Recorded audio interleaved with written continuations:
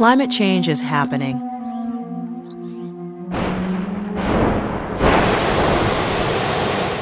We hear so much about it. Every day, it seems like we report more evidence of climate change. More floods and hurricanes are headed to the coast and will make land. Farmers don't know whether to anticipate dry or wet conditions this year.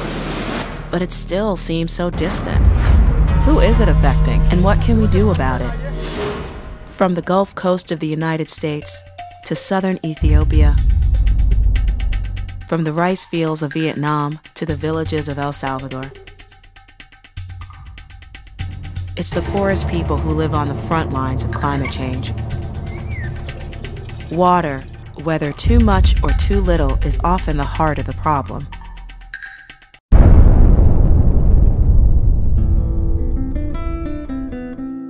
In El Salvador, erratic rainfall and floods threaten the water supply. During the wet season, it rains day and night day and night. The rivers swell, then the water gets contaminated. So what generally happens here is that when it floods, the water gets extremely contaminated. Latrines overflow, this is an area with a lot of cattle. All of that waste goes into the hand-dug wells that are found in most of the homes here. I get our drinking water from a hand-dug well. We use this water to clean the dishes, cook, and drink. When it rains, a lot of the water comes out muddy. But because we do not have other options, this is the water that we drink. In many of the coastal communities of Louisiana, climate change means more severe hurricanes and floods and increased erosion. The last hurricane that passed through here had seven foot of water. You know, so all, everybody's house gets flooded every every year, two years, and then it's wood. It can only take so much water, and it's going to start to rot. My name is Betty Jane Adams. I'm from Chauvin, Louisiana. Rita and Katrina was what destroyed my house. Must have been about maybe four and a half to five foot of water you can sit in that house. When I was younger, the water used to come and it would go down right away. Floods are more frequent now.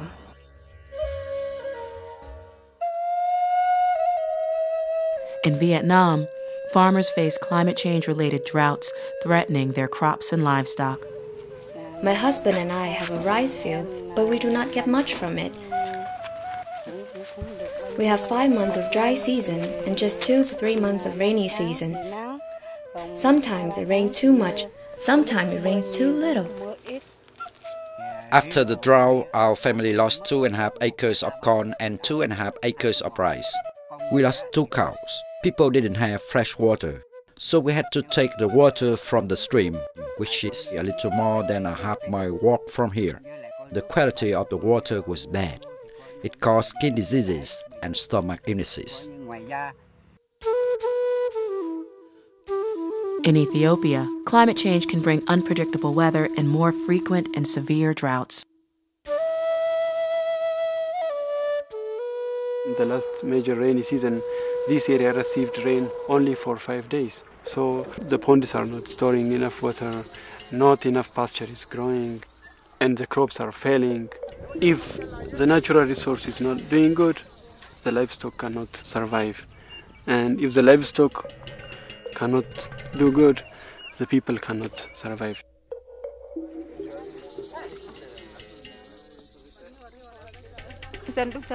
During the dry season, it takes six hours a day to gather water.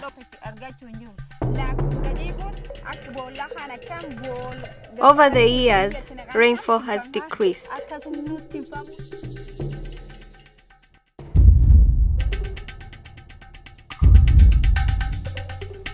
As communities struggle with a changing climate, they're developing new techniques and rediscovering old techniques to help them adapt.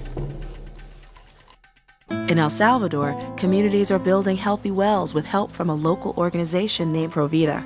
They're located in the heart of the community so everybody has access. The proposal of these healthy wells is to build a sealed well that not only gives them higher quality water all year round, but in the case of flooding, which is happening more and more as we're seeing changes in the climate, this is going to provide a safe water source during emergencies and throughout the year. We all have the right to water. Pero no agua, siempre la que hemos tomado antes. But not to the bad water we used to drink. Con agua mejorada. Quality water. Water that helps us stay healthy. Mejor. We have learned how to clean the wells inside, how to put chlorine in the water. Tienes que azotar el agua así, azotar el agua así y por las orillas tienes que sacudirla así con la On the Gulf Coast of the United States, a community organization, TRAC, is helping residents on Louisiana's bayous build hurricane resistant homes. Elevating houses is not a new idea. It's been done for centuries in Asia and coastal communities in the US, but TRAC is using a new design that they created in collaboration with MIT students. My name is Peggy Case, and I'm the director of TRAC. What you're going to see down here, you know, every style, shape of houses being up in the air, it is the evolution of living here. It's been a goal of TRAC's to build back better and to build back for the last time. The lift houses that we're building can sustain Cat 5 hurricanes. By creating sustainable housing, the next generation will inherit them. In Vietnam, poor communities are accustomed to dealing with floods. But the Raglai people, an ethnic minority, find droughts to be the real problem. They're working to adapt to the harsher growing conditions. They're learning how to cultivate crops and raise animals that can survive dry spells. And, with the help of the government, they're working to bring more clean water to their communities. When this reservoir is completed, we can be in more control, increasing the water for irrigation when it is needed, or reducing it when it is not. When this reservoir is completed, it will ensure people's survival.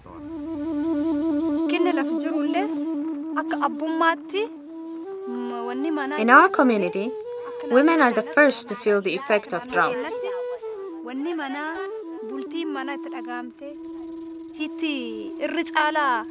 They know best about problems in the home, with children and the cattle.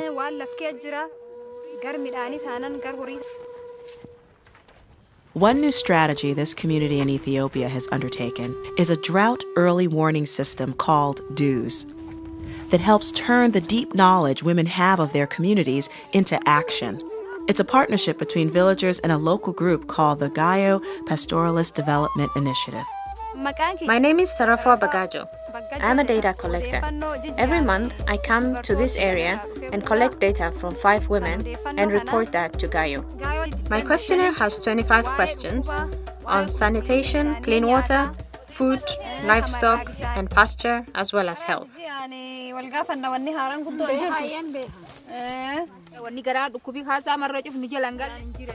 That information gets plotted on a graph, and when spikes reveal trouble, that triggers action.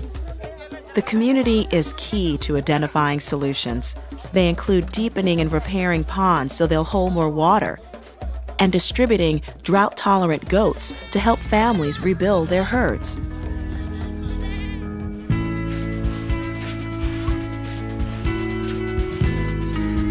Around the world, it's the poorest and most vulnerable people who are hit hardest by climate change. But poor communities are fighting back, and you can help.